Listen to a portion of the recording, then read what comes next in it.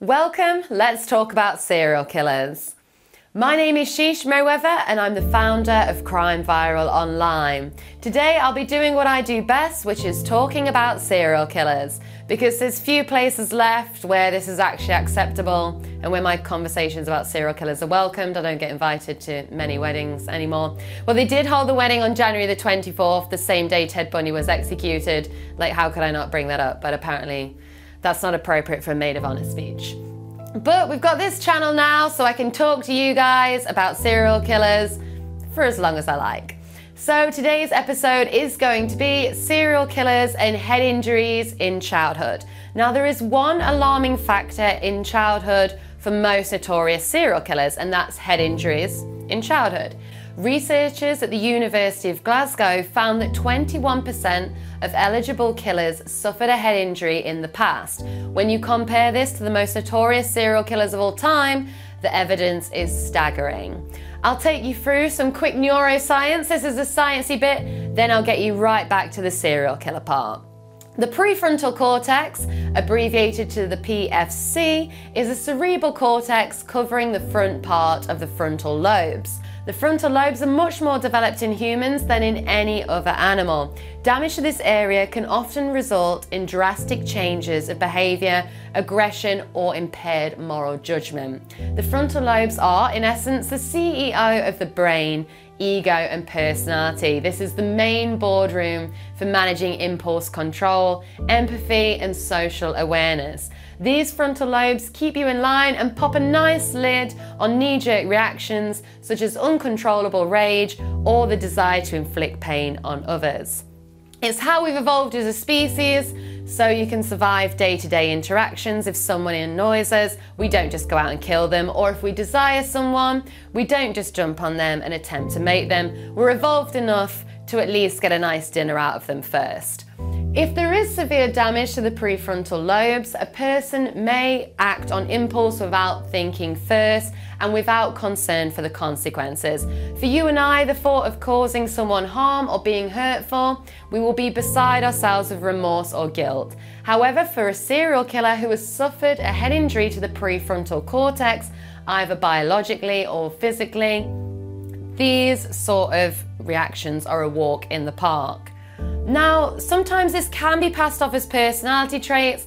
However, when we look at these following notorious serial killers and how they all suffered head injuries in childhood, we cannot deny there is some correlation here. Head injuries then, mixed with a traumatic upbringing, including violent parents, these future serial killers all became a boiling pot of rage that they took out on their victims. Richard the Night Stalker Ramirez terrorized Los Angeles and San Francisco in the mid 1980s. Striking late at night, he entered the homes of his victims and brutally attacked them with either a machete, a hammer, a tire iron, or many other sinister weapons. Born in El Paso, Texas, at the age of two, a dresser fell on top of Ramirez and nearly killed him. He was knocked unconscious and suffered a severe gash on the front of his head. At the age of five years old, he survived another serious head injury when he was knocked unconscious by a swing, and this caused him to suffer epileptic seizures throughout his childhood. Later, following a highly publicised trial, he admitted to killing 13 victims. John Wayne Gacy suffered also a traumatic childhood at the hands of his alcoholic and abusive father. At the age of 11 years old, he was hit in the head, which caused a blood clot in his brain and that went undetected until five years later. Due to this blood clot, he suffered from blackouts, and this also resulted in an irregular heartbeat, so he was in a hospital bed for much of his adolescence. Gacy adopted in adulthood an alter ego, Pogo the Clown. Between 1972 and 1978, he murdered 33 men and teenage boys at his home in Cook County in Illinois, and he hid many of the bodies in the crawl space at that very home. A very grisly crime scene for the detectives working that case. David Berkowitz, also known as Son of Sam, suffered from multiple serious head injuries in childhood. Six years old, he was hit by a car. Then, in a separate incident, he ran directly into a wall and then one year later he was hit in the head with a pipe that resulted in a four inch cut on his forehead. By the age of 12, he was torturing and mutilating animals, and he was becoming increasingly antisocial. During the summer of 1976, his killing spree had really begun. He killed six people and wounded seven others, which resulted in one of the biggest manhunts in New York City history. Serial killer Albert Fish brutally murdered and mutilated children in the early 1900s. During his childhood, Fish fell from a tree which caused him a concussion that resulted in headaches throughout his entire life and also further dizzy spells. He developed several sexual fetishes throughout adulthood, including sadism, masochism, exhibitionism, and cannibalism. He boasted his number of victims was in the hundreds, though he was only charged with three known murders. Fish said, I always had a desire to inflict pain on others and to have others inflict pain on me. I always seemed to enjoy everything that hurt. Glen Edward Rogers murdered three women between California, Florida, Mississippi, and Louisiana in the 90s. He was known as the cross country killer. And it was revealed that as a baby, he would rock so violently that it would constantly be banging his head against hard surfaces like walls, floors, or doors. Rogers was also slapped with such force by his mother that he stopped breathing and passed out. He later targeted women with strawberry blonde hair, the exact same hair colour as his mother, the woman who he'd grown to despise. Henry Lee Lucas was convicted of murdering 11 people, however, he claimed to be responsible for more than 300 victims. He picked off his victims at random in the early 80s whilst drifting across several states. Lucas did not have an easy start in life. His mother never allowed her son to show emotion and often subjected him to brutal beatings.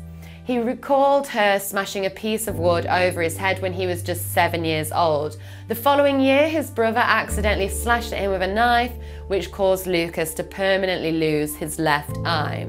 A professor at Harvard Medical School examined a brain scan of the serial killer and did find abnormalities in the frontal lobes and also in the parts of the brain that are related to emotional control.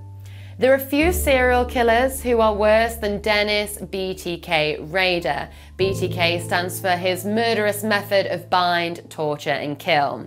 Rader's killing spree lasted between 1974 to 1991, which included a break in between for a few years. In an interview for the biography Confessions of a Serial Killer, Rader revealed as a newborn he stopped breathing and he turned blue, but his mother did not take him to a hospital for emergency care. Also, as an infant, his mother accidentally dropped him. Rader later said, I actually think I may be possessed by demons. I was dropped on my head as a kid. This full study from the University of Glasgow is published in the Journal of Violent and Aggressive Behaviour. Dr. Clare Allely from the Institute of Health and Wellbeing at the University of Glasgow said the report, which is the first of its kind to look at the available data around serial killers and these cases, identify there is a complex interplay between neurodevelopmental problems and psychosocial factors likely to lead to incidences of this kind. Now, this combination of characteristics is discovered early on in an individual's development, then a person could be predisposed to developing into a serial killer. This can lead to positive prevention measures that can result in saving lives. It doesn't, however, mean that because you suffer from a traumatic head injury in childhood that you are going to be a serial killer. As remember at the start of this video, we mentioned there needs to be that psychosocial stressor in place also. Ramirez, for example, might not have evolved into a serial killer based on the two head injuries he suffered alone. However, at the age of 12 years old, his cousin who had returned from the Vietnam War showed him sexually violent images of women he had tortured out there. And also, Ramirez, at this age, saw his cousin shoot his wife fatally. So you take the damage to the frontal lobes, mix it with a psychosocial stressor, and that individual out in the world, sometimes the results are not going to be good. Research on this subject is still relatively new, so the more we study, the more knowledgeable we will become. So, another benefit of talking about serial killers is keeping these conversations going. Therefore, having an obsession with serial killers isn't weird or creepy at all. it actually saves lives. That's my excuse anyway, and I'm sticking to it. So thank you for joining us for this episode of Let's Talk About Serial Killers. Feel free to like this video, subscribe to our channel, and don't forget to join us over on Facebook at Crime Viral, where we'll be continuing the conversation.